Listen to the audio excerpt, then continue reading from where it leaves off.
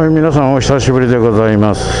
えー、今日はですね GL を乗ってるんですけれども。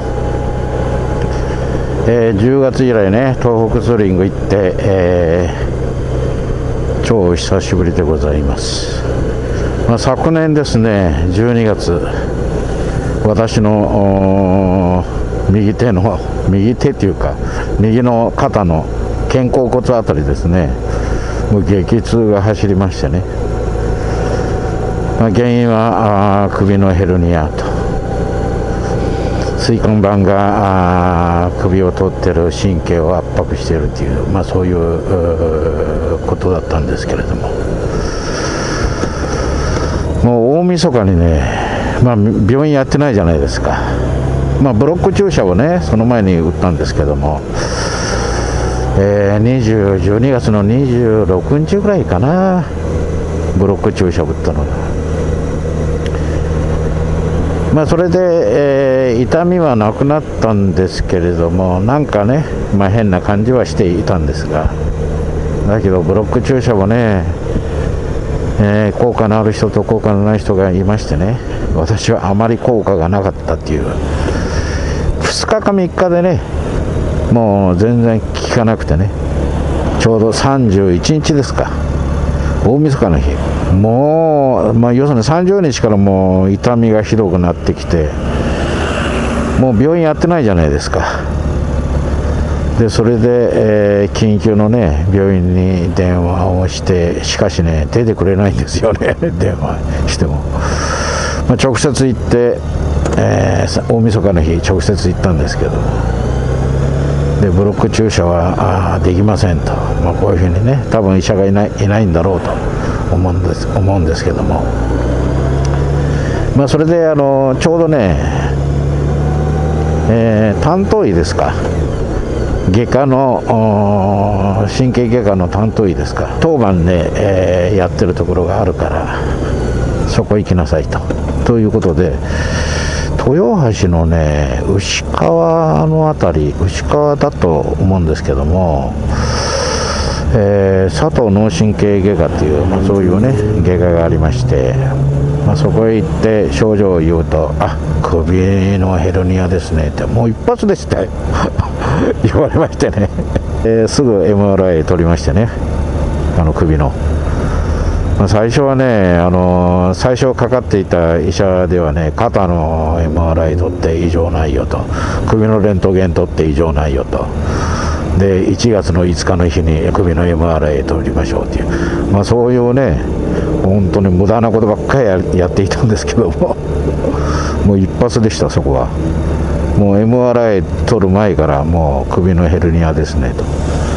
まあ、こういうふうにねあの言われまして、まあ、もちろん MRI も即取ってくれたんですけどもあ見事にね圧迫しておりました。薬がね飲み薬が6種類だったかな。6種類くれましてね痛み止めはね麻薬の次に強い薬。まあ、そういう薬がありましてねちょっと薬の名前を忘れましたけども、まあ、それを飲むと痛みがね取れるんですよ。すごいですね今。最初行った整形外科だったんですけどもねあの皆さんが知ってるカロナールじゃなくてカロナールの次に強い薬かな。まあそれをくれたんですけども。もうそれを飲んでもね効果は全くないわけじゃないんですけどもあるんですけども2時間ぐらい経つとねすぐまた痛くなってくる。でこれはね1日2回しか飲まなかったんですけども痛みはねずっとないんですよ。その代わりね、まあ、神経圧迫してるもんですから全く症状がないわけじゃないんですけども右手がしびれてんです。今もしびれてんですよ。今も。で、まあ、こういう痛みだとか、まあ、しびれに対してはなんかビタミンが効果的なんだそうですね。ビタミン E ですか。肌荒れにも良さそうなんですけどもビタミン E っていうのは。で今回2回目、えー、先日行ったんですけども薬がもう1種類増えて7種類になりました。痛み止めはね夜しか飲まないんです。でそれで1日持つらしいですね。まあ今のところね眠くなったりだとかそういうのはないもんですから。しびれもねこうやってねバイク乗ってってもあんまり感じないようなしびれになっております。まあ、時々ねビリビリにしびれてる時がありますけれどもまあそんなわけで、えー、GL を乗ってますで、まあ、しかしねずっとバイク乗ってないのにどうして今 GL 乗ってるんだという、まあ、そういうことなんですけども実はあのツイッターでもつぶやきましたけども 先日ねおいバッテリー大丈夫かなとずっと乗ってないけど ということで ST250 は見事にねバッテリー上がっていたんですけどもこの GL もねバッテリーがダメでした。ダメっていうよりもねまヘッドランプはここについてたんですよ。もう。でそれでキーを抜いたんです。もうダメだから。そしたらねキー抜いてもねあれスターターが回ろうとしてるんですよね。全くないわけじゃないもんですからググググググっていう。で回ろうとしてるわけです。あれ？なんだろうこれ。そしたらあのシートの下でねカチャカチャカチャカチャ音がしてるんだよ。カチャカチャっていうよりもねガチャガチャガチャガチャ音がしてるんですよね。これはなんだなんだなんだと思いながら気抜いても音がしてると何か作動しようとしてるわけです。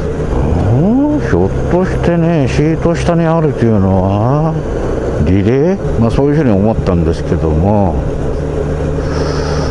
だけどねなんかおかしいよなと。で、まあ、しばらくほほっといたんですけども。そしたら止ま止まってました。多分ね5分10分動いてたんじゃないかなと思うんです。で、まあ、バッテリーがなくなったのかあ止まってドリーム店にね電話をしてねで症状を言いましたね。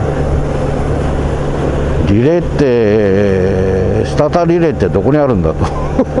聞いたらねバッテリーの後ろにあるよと。バッテリー左サイドにバッテリーあるんですけどもそのバッテリーの後ろにあると。これはダメだと。バッテリー外したって取れないと。ということはサイドボックスから全部外さないといけないと。これは大変だなと思ってまあ JAF 読んでね。ドリーム店に運んでドリーム店で 信頼してもらったらやっぱりスターターリレーだったと。まあ、こういうわけでスターターリレー交換をして今帰りなんです。まあ妻にね送ってもらってね、えー、今帰ろうとしております。やっぱりねバイク持ってるということはね乗らなきゃダメですね。まあだけど東北に行ってる最中にスターターリレー行かれなくてよかったです。本当にね。自宅でよかったです。まあそんなこんなで 大変な年末年末また年始でございました。皆さんもね体とバイクには気をつけて今年1年間楽しい、えー、バイクライフを過ごしていただきたいなとこういうふうに思っております。それではまた。